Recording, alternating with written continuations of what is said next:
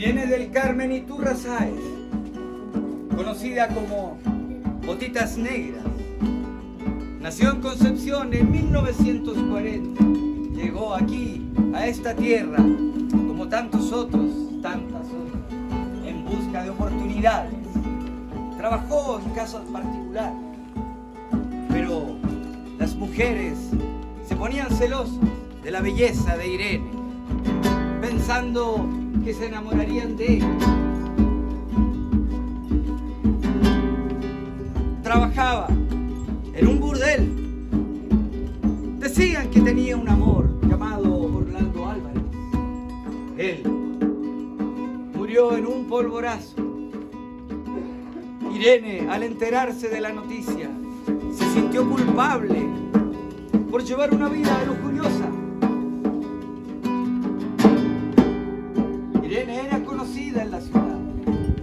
A los desposeídos, a los niños, a los ancianos. Ya en el año 1969, Irene fue encontrada en el desierto, desnuda, mutilada, carcomida por los animales, y solo llevaba puestas sus botitas negras, que decían era para ocultar una cicatriz que ella llevaba en el tobillo.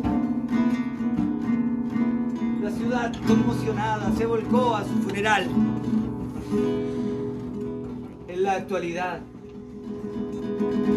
familias de diferentes partes del país y del extranjero suelen venir a agradecerle los favores concedidos, dejándole flores, velas, placas de reconocimiento y cigarrillos, como tanto le gustaba.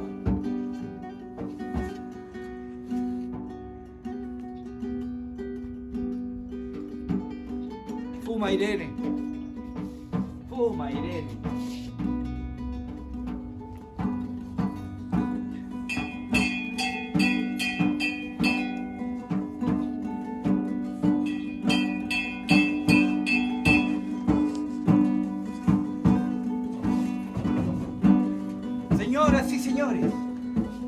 Ha llegado la hora de abandonar el cementerio. Sepan ustedes que las almas que aquí descansan suelen salir, deambular por estos pasillos del cementerio. Solo me resta decirles que la vida, la vida es un instante. La vida, la vida pende de un hilo.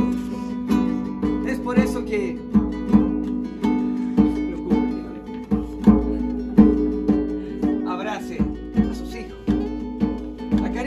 padres, díganle cuánto los aman.